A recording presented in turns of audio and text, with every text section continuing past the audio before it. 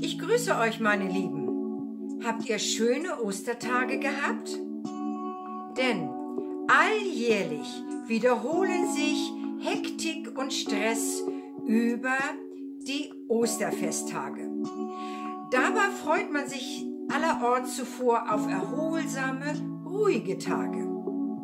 Auch in der letzten Woche war es wie immer.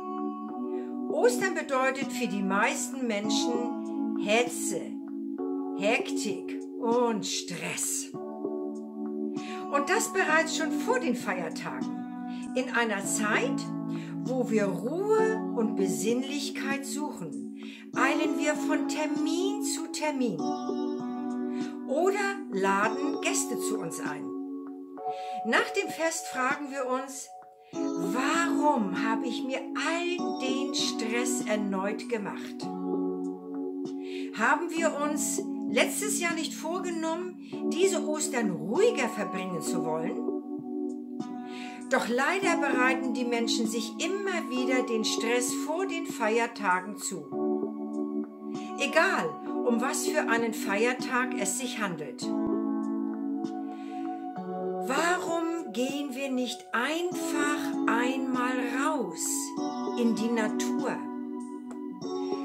Seien wir uns doch bewusst, dass uns die Erde und ihre Natur ein wundervolles Leben ermöglichen. Sie sind ein unfassbares Wunder. Betrachten wir doch dieses unfassbare Wunder mal mit offenen Augen und erkennen, was sie uns Schönes geben kann.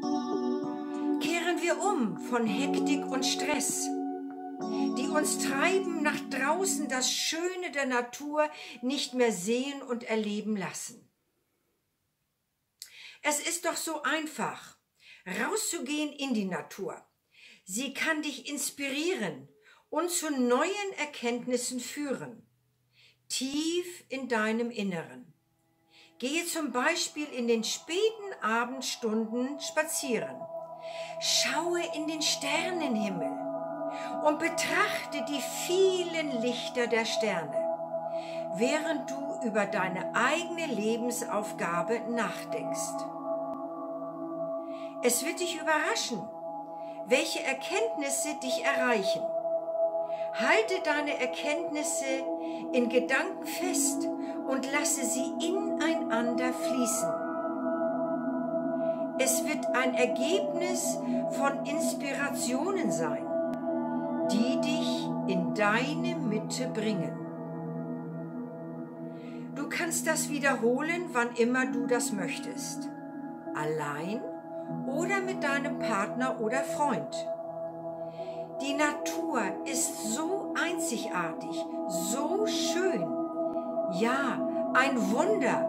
Und dieses müssen wir nur wahrnehmen. Verinnerliche es in dir. In dir so dass du die Ruhe und Kraft in dir aufnehmen kannst.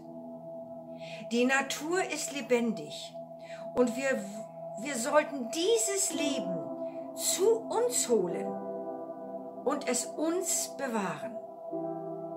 Wenn du im Einklang mit der Natur bist, wirst du deine innere Ruhe und deinen inneren Frieden finden.